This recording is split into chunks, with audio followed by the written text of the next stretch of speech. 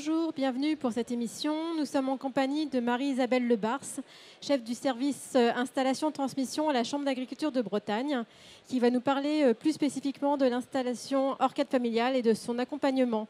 Bonjour Marie-Isabelle. Bonjour. Alors pourquoi la Chambre d'agriculture de Bretagne a-t-elle décidé euh, d'axer son travail sur l'installation Orcade familiale? Déjà, l'installation, c'est vraiment un, dossier prioritaire pour les chambres d'agriculture. Euh, parce qu'il y a beaucoup de départs, des départs, euh, des remplacements d'associés, des fermes qui se libèrent, parce qu'il y a beaucoup de jeunes qui nous appellent. Donc pour nous, c'est très important effectivement euh, d'aider ces jeunes à s'installer dans les meilleures conditions possibles. C'est les missions des chambres d'agriculture et hors cadre familial, parce que voilà, aujourd'hui, on a besoin aussi de nouvelles personnes en agriculture. Euh, voilà, avec des nouvelles idées, avec de l'innovation, euh, avec des envies d'agriculture. C'est un métier qui passionne aujourd'hui. Et voilà, on a beaucoup de dispositifs et on accompagne euh, voilà, ces personnes qui sont parfois en reconversion et qui, qui sont passionnées par, par le vivant et qui souhaitent s'installer en agriculture. Est-ce que vous pouvez nous présenter plus en détail ces différents dispositifs?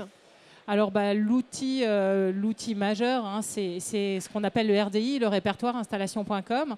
C'est-à-dire qu'on a un, registre avec les fermes à reprendre. Donc aujourd'hui, euh, en Bretagne, il y a à peu près 500 fermes à reprendre. Euh, donc les cédants qui n'ont pas de repreneur ou qui cherchent un nouvel associé s'adressent à nous.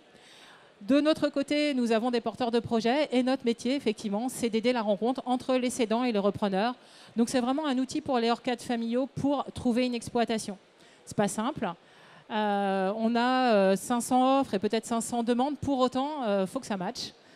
Euh, donc c'est vrai que que ce soit euh, l'aspect géographique, l'aspect juridique, hein, la plupart des jeunes veulent s'installer en individuel alors qu'on a aussi des offres sociétaires, que ce soit par rapport à la production, au prix et puis aussi par rapport à l'humain, hein, puisqu'il faut, euh, il faut s'entendre, il faut se rencontrer et, et ce n'est pas toujours évident. Donc ça, c'est des phases qu'on accompagne aussi à la Chambre d'agriculture. J'ai entendu parler du stage de parrainage. Est-ce que vous pouvez nous en dire un peu plus sur ce dispositif? Oui, alors euh, effectivement, le stage de parrainage, euh, c'est un outil particulier, hein, puisque le métier d'agriculteur ne s'improvise pas. Hein. il y a tout un tas de formations. Euh, mais le stage de parrainage permet de tester, de tester l'installation jusqu'à un an à peu près sur la ferme qu'on souhaite reprendre.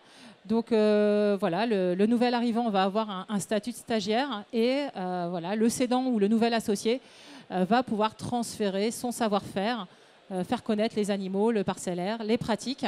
Ça permet aussi, dans les cas d'association, de tester l'association et de voir s'il va y avoir une bonne entente et de, voilà, de, s'organiser aussi dans les postes de travail.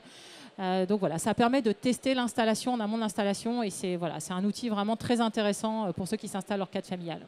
Et au niveau de la formation, est-ce que vous pouvez nous dire pourquoi c'est si important euh, pour des jeunes qui vont s'installer, notamment en cadre familial, de suivre différents types de formations?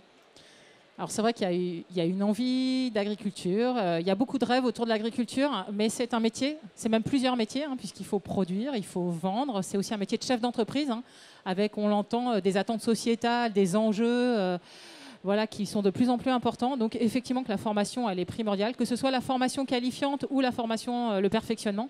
Donc c'est des choses qu'on propose dans le cadre du parcours à l'installation, hein, le parcours créateur d'entreprise. Euh, avec des, formations entrepreneuriales hein, euh, pour bien gérer son exploitation, euh, maîtriser ses chiffres. sur aussi tout ce qui est ressources humaines, hein, puisque parfois ce seront des managers demain, ils ont des salariés, donc aussi il faut savoir, c'est aussi un métier. sur des formations techniques, la transformation, la valorisation, l'étude de marché. Voilà, il y a tout un tas de formations qu'il est important de maîtriser en amont et en aval de l'installation après, ce qu'on demande aussi parfois, hein, et ce qu'on conseille en tout cas, c'est euh, parfois de passer par des phases de salariat pour bien connaître l'agriculture avant de s'installer et de partir bille en tête, avec parfois un peu des idées reçues, mais euh, voilà, ça fait partie aussi euh, des tests à faire avant de rentrer dans le métier de l'agriculture. Sur quel message vous aimeriez conclure? Bah, de dire qu'il y a des places à prendre en agriculture, que c'est un beau métier quand on s'y prépare bien, il euh, faut savoir si c'est fait pour soi. Donc euh, ça, c'est des choses qu'il faut, des questions qu'il faut se poser, que ce soit en salariat ou que ce soit euh, en installation, et que les cédants ont un rôle important à jouer dans l'accueil aussi des nouveaux arrivants. voilà, de, personnes en reconversion qui ont envie de rentrer en agriculture et que les cédants, les, futurs associés ont aussi une ouverture à montrer pour accueillir ces nouveaux arrivants dans les meilleures conditions. Marie-Isabelle, merci beaucoup pour toutes ces informations.